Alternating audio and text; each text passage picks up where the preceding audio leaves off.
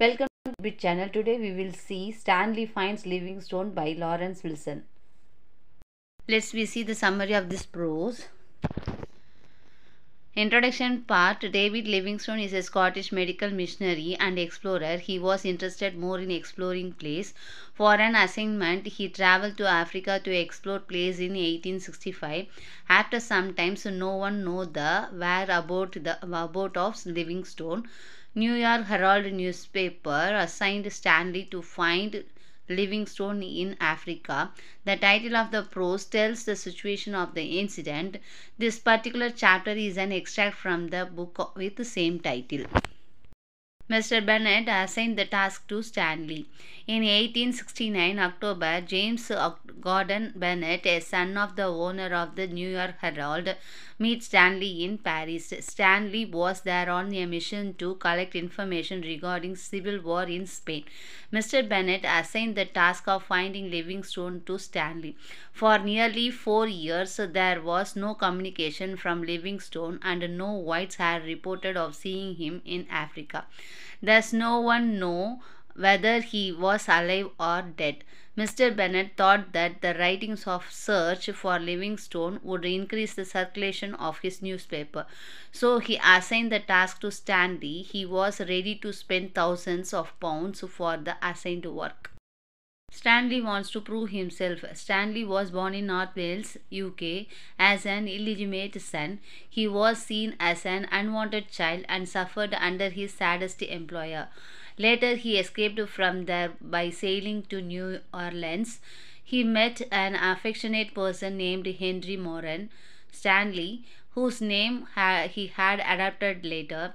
He considered himself as an American citizen and fought for America in civil wars and later worked for New York Herald. As he wanted to prove himself with great achievement, he immediately accepted the task to find Livingstone in Africa. Stanley started his voyage. In January 1871, Stanley started his voyage. He decided to reach Ujiji on the shores of Lake Tanganyika, which was 750 miles from the coast. It was from this place people received information about Livingstone finally. Mr. Bennett did not send money to Stanley as he promised. Yet through his persuasions he borrows money from the American consul. He decided his budget and bought supplies for two years. His luggage contained weapons, bullets, cloth, tent, medicine, utensil for cooking, food and native money. This luggage was around 70 pound. Ignorance of Stanley. Stanley employed 200 Zanzibars as porter. Two white men were appointed to supervise them. They started their sail from the mainland in the month of March. On the way, he heard some more porter. They joined with their family and cattle and started the journey cheerfully through various routes extended to reach Ujiji. Out of ignorance, Stanley selected a tough route. The hot climate affected the sailor and due to the insects people suffered with fever.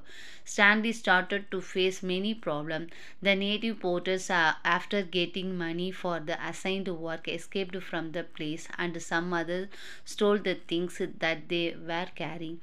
The next eight months were the tough period for Stanley as he kept the sup- supporter either by force or by affection. Mirambo blocked his voyage. They reached their regular routes used by the Arabs trader. They traveled from one village to another and got food necessary things from later. Later, Stanley too suffered with high fever. Later, he joined with the Arab traders for safety. When the African chiefs Mirambo blocked his voyage, his troops along with the Arab fight with him. Stanley decided to take another route. Stanley, by deciding to avoid battle, traveled through unknown countries. The sailors suffered with various diseases and when they tried to escape, Stanley chained them and put them under his control. When it was 60 miles for Ujiji, he received information from people that a white man was living there. Stanley was excited to receive such information by considering him as a Livingstone. To reach Ujiji, they had to cross Wagha territory, but the head of the Wagha tribe was demanding huge amount to cross the area. He had to cross five such villages to reach Ujiji, and each place demands a huge amount to cross the border. So he decided to take uh, another route, which was ob- obviously a longer one. When they reached the desi- destinations, Stanley became nervous regarding Livingstone's re- reaction. He dressed himself in a pleasant manner to meet Livingstone. Voyage brought great fame for Stanley. Ujiji people gathered to welcome Stanley. Sta- Livingstone's servants welcomed him and directed him to the house. Stanley was un- uncertain about the reception of Livingstone, as Stanley suffered with the inferiority complex about his birth and childhood life in UK. He had doubts about Livingstone's reaction, but his braveness and talent to cross many troubles in the voyage gave him confidence. Livingstone, a kind person, invited him with love.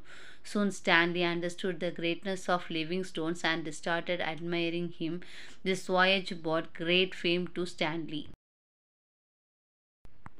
இந்த video உங்களுக்கு பிடிச்சிருந்தா மறக்காமல் like பண்ணுங்கள் share பண்ணுங்கள் comment பண்ணுங்கள் subscribe பண்ணி கூட இருக்க பெல் ஐக்கனையும் ப்ரெஸ் பண்ணுங்கள் தேங்க்யூ ஃபார் வாட்சிங்